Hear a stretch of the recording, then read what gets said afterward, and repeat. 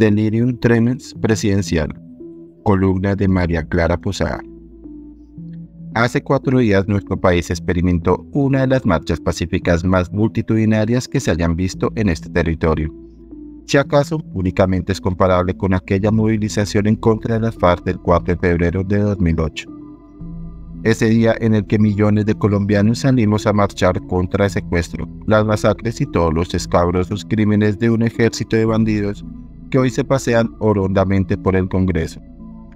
Gracias al proceso de paz de Santos que desconoció el mandato popular establecido en un plebiscito. Pero esa ya no es materia de esta columna. Pues bien, quienes también estuvimos en las calles el pasado 21 de abril sabemos que lo que se vivió fue una movilización semejante. Lo que se vivió fue la manifestación de una ciudadanía vibrante, respetuosa de la Constitución, a carta cabal, y dispuesta a hacerse oír para proteger sus libertades. Cualquiera que haya visto las portadas de los medios de comunicación de todo el país puede dar fe de que, pese al desafortunado trino de Gustavo Petro en el que minimiza la marcha diciendo que salieron 250.000 personas de la clase dominante en cuatro ciudades capitales, lo que sucedió en Colombia fue una tremenda convulsión social. Pacífica, eso sí, que copó con más de un millón de colombianos en las calles de los distintos territorios del país, transmitiendo un mensaje que cualquier gobierno con algo de sensatez debería estar dispuesto a oír. Y bueno, aunque dados los antecedentes, ya para nadie fue sorpresa. Gustavo, muy al estilo del Gustavo presidente, prefirió entrar en su estado perpetuo de negación, de inversión de la narrativa, algo en lo que él es experto, y de desconocimiento de la magnitud de lo sucedido el domingo como si negarlo hiciese, por arte de magia, que no hubiera existido. En un acto que da fe de su diminuta calidad de demócrata, en lugar de asumir con grandeza y dignidad el mensaje que transmite una movilización de semejante envergadura, prefirió la burla, minimización y señalamiento hacia los millones de colombianos que salimos a las calles a expresar nuestra insatisfacción no solo con las políticas de su gobierno, sino, y sobre todo, con sus pasiones autócratas, ya varias veces insinuadas.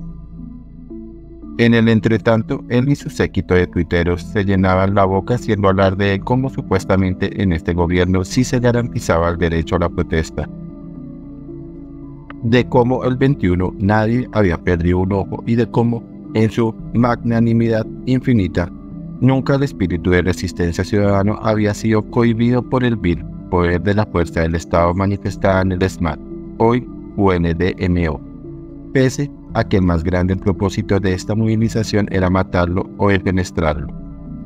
Le hace este párrafo en tono de sarcasmo.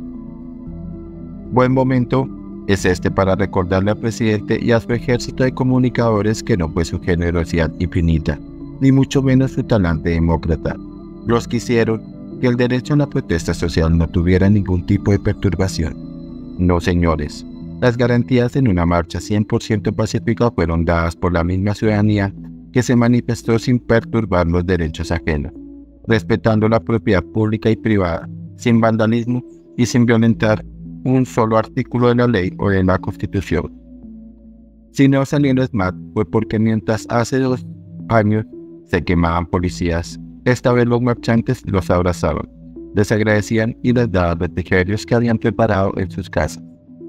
Si nadie perdió un ojo fue porque esta vez la manifestación se llevó con total tranquilidad, sin agitar los ánimos y sin ningún tipo de incitación a la violencia por el más de millón de ciudadanos que caminamos. De este triunfo poco le pertenece al gobierno y casi todos los colombianos de bien que salimos a marchar. Sea este también un buen momento para aclarar al presidente que ese señalamiento constante, esa desidia con la que públicamente en sus comunicaciones se refiere a los millones que alzamos nuestras voces en paz, esa burla con la que desconocen la seriedad de las preocupaciones de los colombianos, esa estigmatización en la que en el mejor de los casos nos tratan de clase media, arribista, explotadora y, en los más extremos, de mafiosos o paramilitares.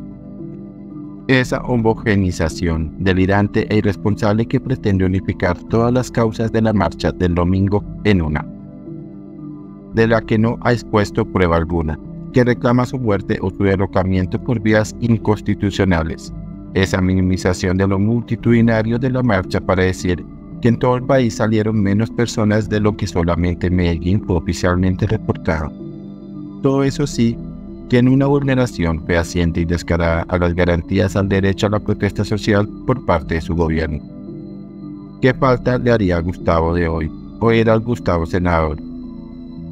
Ese que en un trino de 2019. El gusto por trinar se ha permanecido incólume, le decía al país. Esta es la movilización en paz. Duque escuche. Un gobernante debe siempre escuchar y corregir si es necesario. La mayor violencia siempre proviene de un gobierno que se vuelve indolente y solo.